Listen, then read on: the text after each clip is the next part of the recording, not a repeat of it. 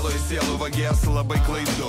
Sielų vagis sielui daro nemažą klaidų. Tokiai būsenui brau ramybei neužsibūsi. Į savo pusę lenkia ranką uždusę dviese.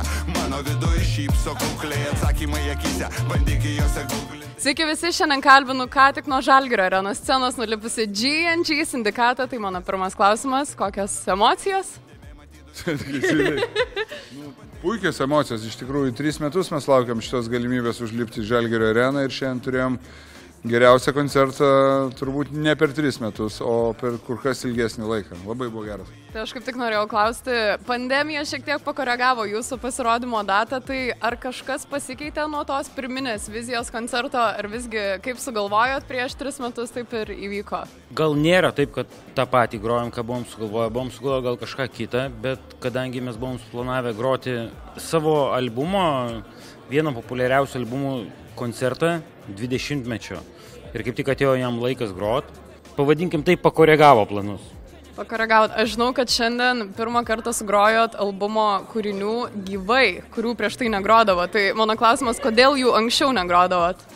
Nes e, tiesiog jie galbūt nebuvo hitai, jie nebuvo, uh, jo, jie nebuvo iš savęs kažkom, vat, galbūt faini pasirodymai, bet mes vat, savo pasidarėm tokį, pasidarėm tokį iššūkį, kad juos iš tiesų padaryti koncerte ir jeigu kartais jie mums gali jau būti pasenę arba neskambėti, tai mes, manau, juos prikėlėme naujam tokiam gyvenimui, kur iš tiesų, aš manau, visai ir pavyko, nes žmonės galėjo tikrai išgirsti tą, ką girdėjo tame albume, dėl ko jis ir buvo. Bet iš savęs populiarus ir žinomas, tai aš manau tie, kas jį klausė ir mėgo, tai šiandieną galėjo visą jį nuo pradžių iki galo išgirsti ir, ir aš manau išgirsti vėl savotiškai tas melodijas, kurios jiems na, suteikia tam tikrus nostalgiškus jausmus ir šiandieną, manau, buvo puikiai proga tai išgyventi.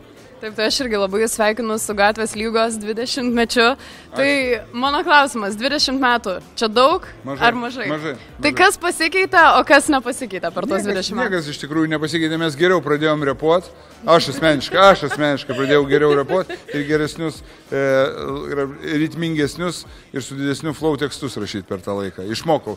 Mes mok, patobulėjom per tos 20 metų, bet karštis, tiesa ir vertybės liko tos pačios. Tai kokie dabar artimiausi grupės planai? Mes dabar artimiausias planas yra išsimiegot, po, po visko, po pasirašymo, biškai atsipūst ir ruoštis naujam planam. Mes labai tikimės, kad, reiškia, nu, pandemija baigėsi, dabar, žinom, jau, jau politinių iššūkių yra visokiausių, labai tikimės, kad greitų metų šviesa nugalės, gėris nugalės ir mes po truputėlį galėsim grįžti į savo įprastą rutininį muzikinį gyvenimą. Ir mes ruošiam savo albumą, naują albumą, kuris eina į pabaigą jau ir šiais metais turėtų pasirodyti. Labai gerai, labai lauksim. Tai ir pabaigai, nežinau, galit skirti žodį visiems savo GNG fanams, o visiems klausytojams. Tie, kas mus seka, žino, kad mes kiekvieną dieną savo postuose, so, socialiniam gyvenime, mes skatinam, kviečiam ir vertybinam žmonės, dėl to jie čia ir renkasi, dėl to jie renkasi tokie, kokie yra, dėl to jiem ir patinka turbūt mūsų muzika, tai ir likite tokie patys ir darykime tai, ką darom iš vien. Ačiū Jums labai.